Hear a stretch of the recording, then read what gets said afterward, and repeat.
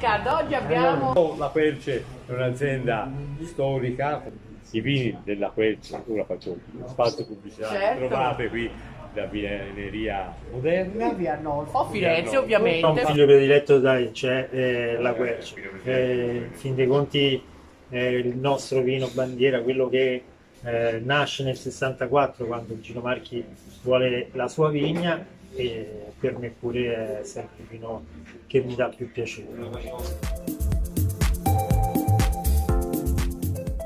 A me è piaciuto molto eh, l'anfora. Bene, perché? Lo trovo fresco, un po' al mio palato lo trovo soddisfacente. Non voglio entrare in tecnicismi. No, È no. un vino che per me eh, mi dà soddisfazione, mi dà gusto.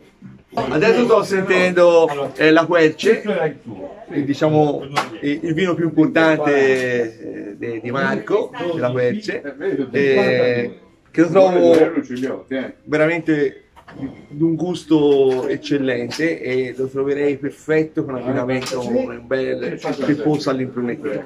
Vino dell'impruneta e peposo Esatto, Un dell'impruneta. abbinamento perfetto. L'abbinamento perfetto.